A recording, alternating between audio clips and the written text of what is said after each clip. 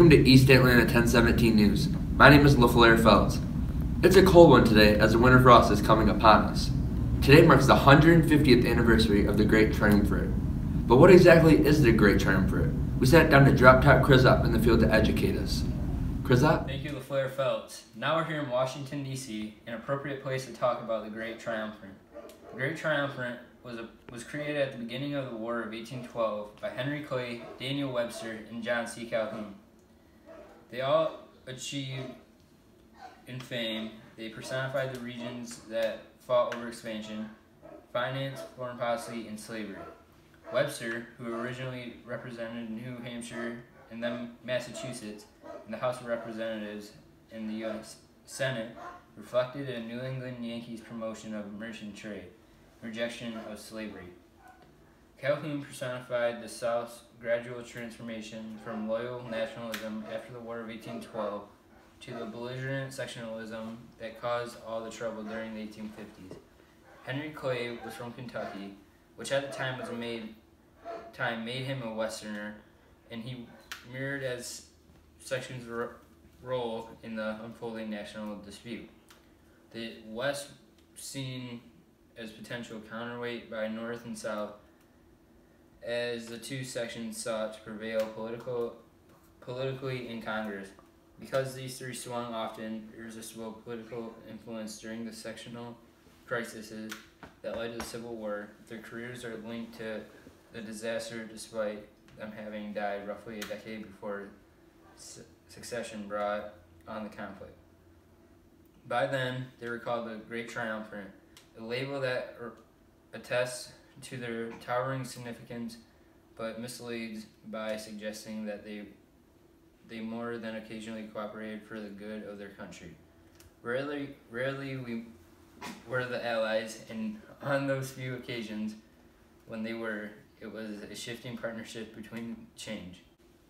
Now back to you, LaFleur Phelps. Thank you, Chris up.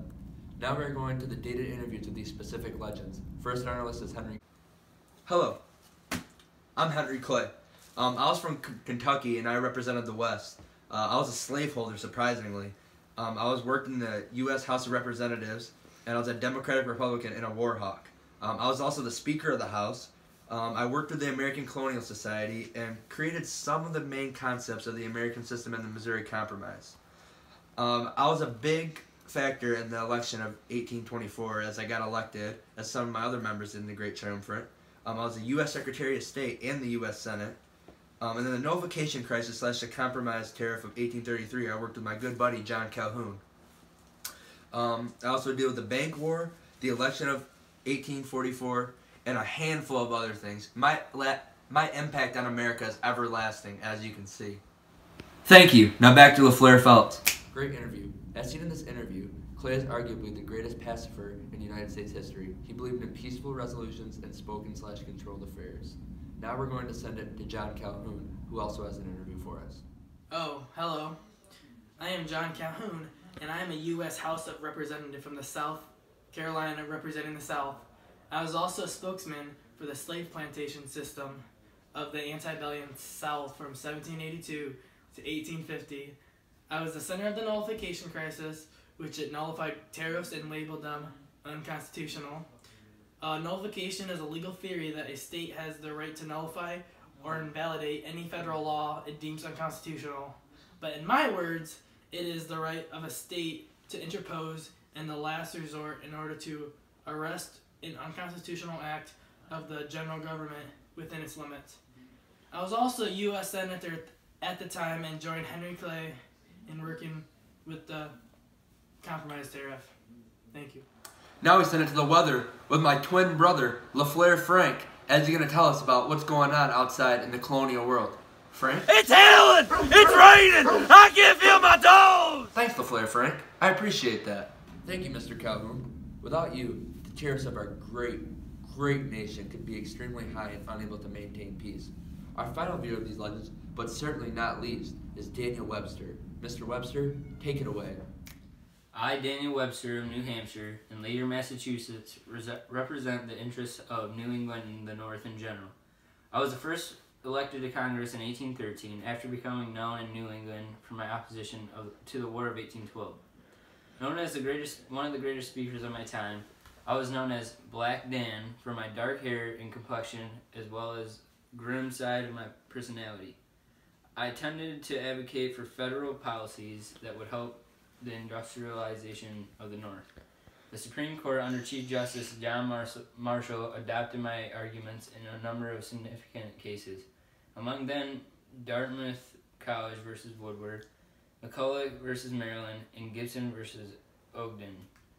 These decisions strengthened the federal government as against the state governments, the judiciary as against the legislative, the executive branches and commercial and industrial as against agricultural interests. Thank you for having me, East Atlanta 1017 News. Wow, great interviews. As you can see, the Great Triumvirate can be defined as three statesmen who dominated American politics for much of the first half of the 19th century. Henry Clay, Daniel Webster, and John Calhoun truly were legends in themselves. Now we're going to send it to our sponsor for a commercial break. You ever want to be an American frontiersman, but with the right weaponry? Well, get the Remington. It's the best route to go, and you will not regret it. And even if you think it ends here, oh, it gets better. We're throwing in a two for one deal where you get the silver edition and the brand new blue edition. The brand new blue edition comes with dual clipped handling and also double the mag. Powerful. Dynamic. Buy the Remington today at a low two for one price of $500. You won't regret it, I promise. Oh, hey, didn't see you there. This concludes our interviews and brings a wrap to our historical recap on the Great Triumvirate. The Great Triumvirate, or the Immortal Trio, ran American politics for a majority of the 19th century. Emerging from the woodwork was Henry Clay. He served as counsel for Aaron Burr in his treason trial and served two short stints in the United States Senate before being elected Speaker of the House of Representatives for 12th Congress. Calhoun coming second was introduced to politics by being great mates with Henry Clay. Collectively, these two declared the War of 1812. Webster's impact was truly not felt till post-war. Webster dealt with the chartering of the Second Bank of the United States and the Tariff of 1816. After the 14th Congress, Calhoun became Secretary of War, and Webster declined recollection to focus on his law practice in Boston, a practice which took him before the United States Supreme Court in landmark cases. In these cases, he represented the Bank of the United States. And this will do it for us today at East Atlanta 1017 News. We learned so much about the Great Triumvirate today, and next week we're going to be learning even more about colonial America. Thank you everyone for listening, and enjoy your night.